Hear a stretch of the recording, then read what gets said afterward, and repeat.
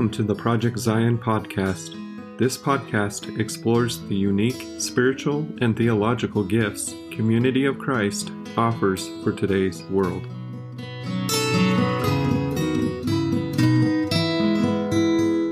Welcome to Coffee to Go, where we center ourselves in the seasons and holy days of the Christian tradition. I'm Blake Smith.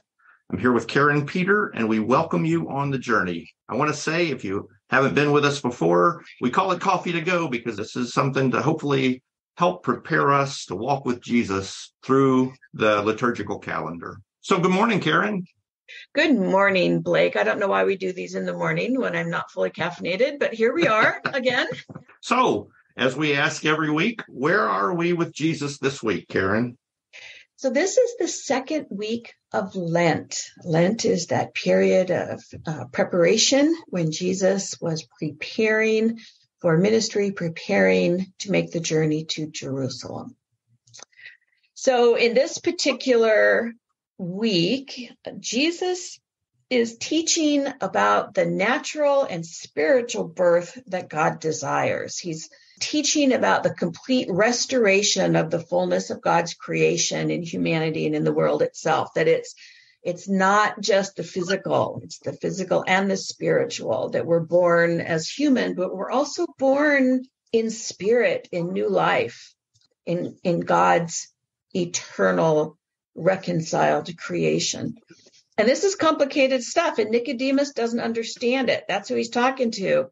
And some days I don't understand it either. There are days I really don't understand uh, some scriptural and theological concepts. So I resonate with Nicodemus that he doesn't quite get what Jesus is talking about. Well, it's easy to get lost in that because our, our Christian culture, not just our culture, but our Christian culture has, has worked so hard for so long to separate the two. Um, you know, spirit and flesh. Yes, and that the the flesh is evil and the spirit is good, and and we we make this a, a real um, divided sense of self. But this passage where Jesus is talking to Nicodemus, Jesus is referring to the whole of creation, physical and spiritual. And and I know for myself it's easier to separate what I can experience as real, as tangible, as physical, and neglect kind of the deeper spiritual side of my discipleship, my life in Christ, because um, it doesn't it doesn't seem as pertinent some days than than what I'm actually dealing with in life. And so if if I have a tendency to do that anyway, and I have a hard time kind of understanding, as Nicodemus did, how do we live in that space? How do we live in this space as Christians of not fully understanding what's going on? And is it okay as Christians to live in a space of not fully understanding? So let's hear the scripture and let's see what uh, what we think after we hear that. So I can't help getting to this scripture without remembering uh, one of my seminary professors uh, affectionately calling this Nick at Night when he referred to this passage. Now, some of our younger listeners might not even, this may be so dated and irrelevant, but our older listeners who are familiar with the Nickelodeon channel and oh, yeah. uh, uh, Nick at Night. But anyway, at that time it was relevant. I, I just can't help uh, but think of that every time I hear this. But the passage comes from uh, the third chapter of John, and it's the first through the 17th verse. Now there was a Pharisee named Nicodemus a leader of the Jews. He came to Jesus by night and said to him, Rabbi, we know that you are a teacher who has come from God, for no one can do these signs that you do apart from the presence of God. Jesus answered him, Very truly, I tell you, no one can see the kingdom of God without being born from above. And Nicodemus said to him, How can anyone be born after having grown old? Can one enter a second time into the mother's womb and be born?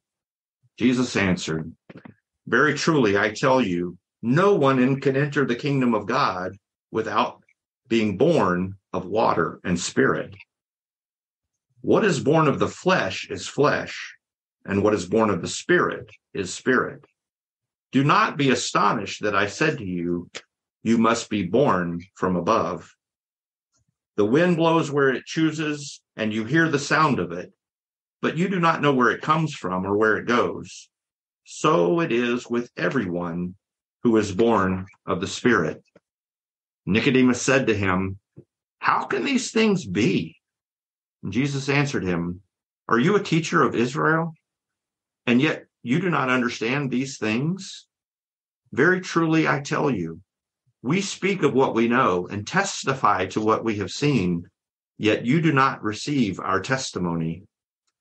If I have told you about earthly things and you do not believe, how can you believe if I tell you about heavenly things? No one has ascended into heaven except the one who descended from heaven, the Son of Man. And just as Moses lifted up the serpent in the wilderness, so must the Son of God be lifted up, that whoever believes in him may have eternal life. For God so loved the world that he gave his only Son, so that everyone who believes in him may not perish, but may have eternal life. Indeed, God did not send the Son into the world to condemn the world, but in order that the world might be saved through him.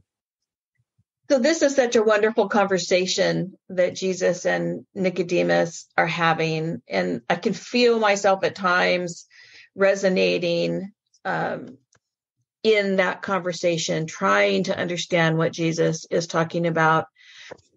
And when I think about living day in the second Sunday of Lent and living in this kind of place of not fully understanding what does that mean for us? There are a couple of things that that comes to mind. And one is the the end of this passage john 3.16 and 3.17 john 3.16 has been used in a lot of different ways to exclude others. Mm-hmm. just reading john 3.16 if you believe you have eternal life which implies that if you don't believe you don't. And yet John 3:17 says that God did not send the son into the world to condemn the world but in order for the world to be saved through him. And so that includes everyone. And so I think it's important when we look at this scripture right now in the second Sunday of Lent to not fall into just looking at John 3:16 and thinking that this is excluding people who don't who don't yet believe or who don't yet understand because that's not what's happening. Um, which is important because there are days I don't understand. Um, and yet we all want to belong. We all want to be included in, in what is happening here with Jesus. And that's why Nicodemus came and asked the questions. That's just such a such an important point. You know, I remember growing up, if, if I knew any Bible scripture, it was John 3.16. I mean, that's yeah. You see it in football games, references. it's just kind of thrown around, but it's a completely different passage when you read it in the context with verse 17. So that makes yeah. so such a difference.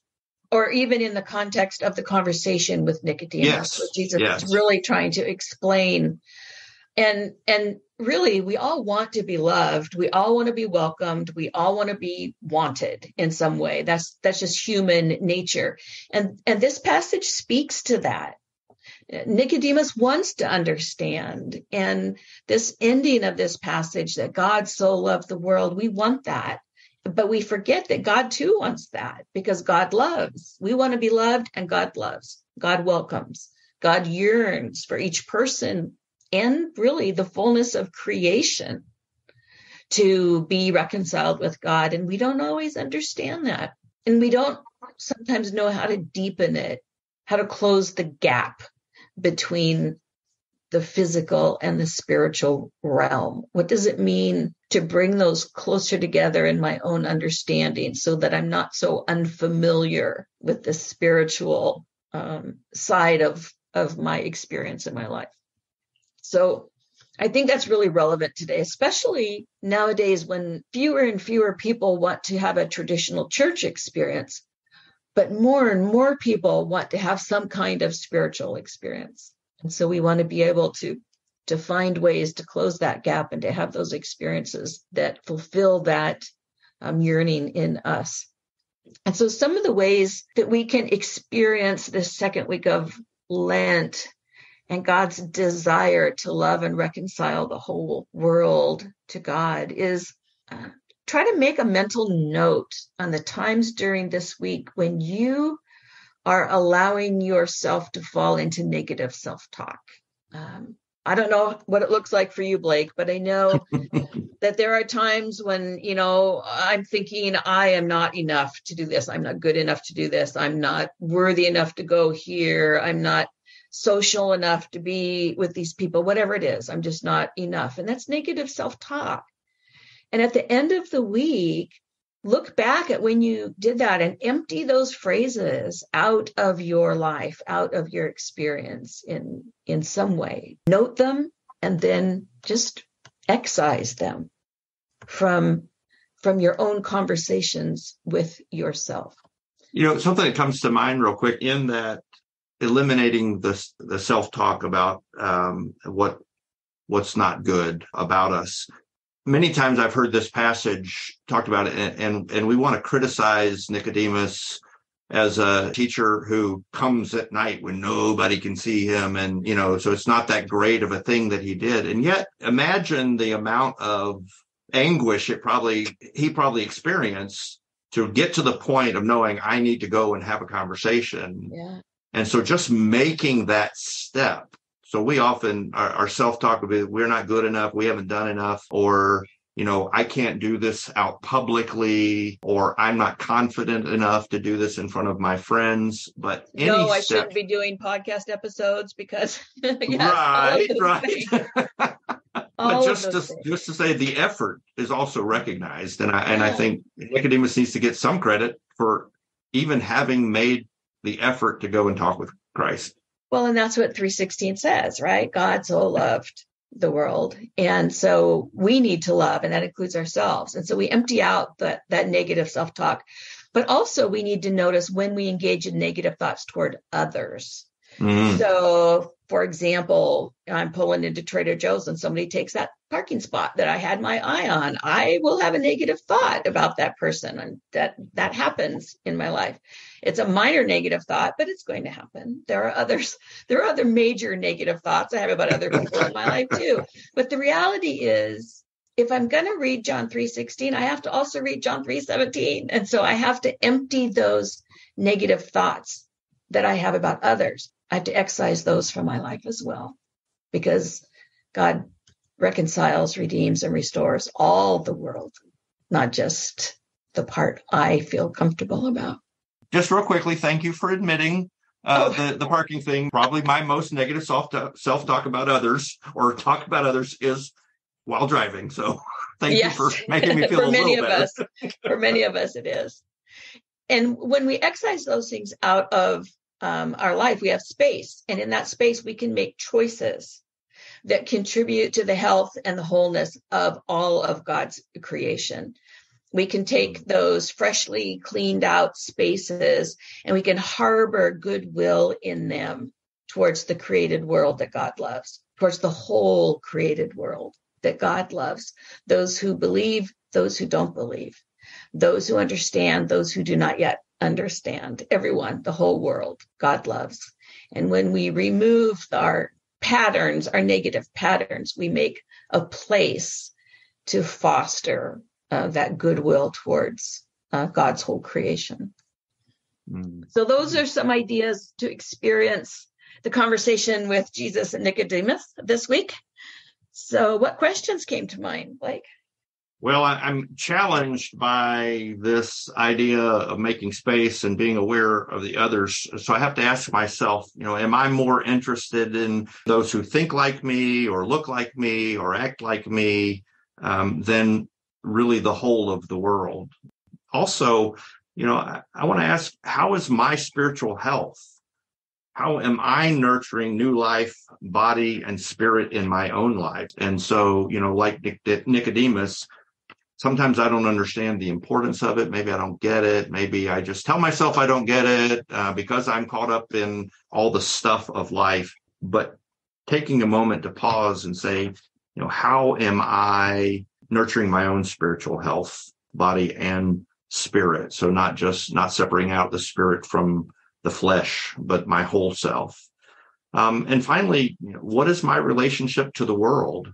Am I invested in its goodness or am I contributing to its deterioration? Mm, good questions to reflect on in this second week of Lent. Yeah. So we've got a blessing today um, from Psalm 121. I'll read the blessing and then you can close us up today. Wait. I lift up my eyes to the hills. From where will my help come? My help comes from the Lord who made heaven and earth. God will not let your foot be moved. God who keeps you will not slumber. God who keeps Israel will neither slumber nor sleep.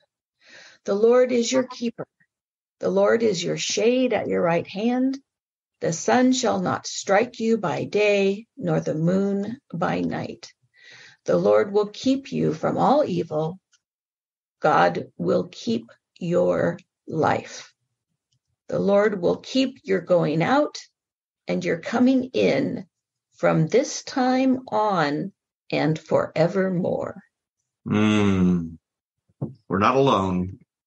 We invite you to join us here again at Coffee to Go for the next part of our journey through the liturgical seasons and holy days of the Christian tradition.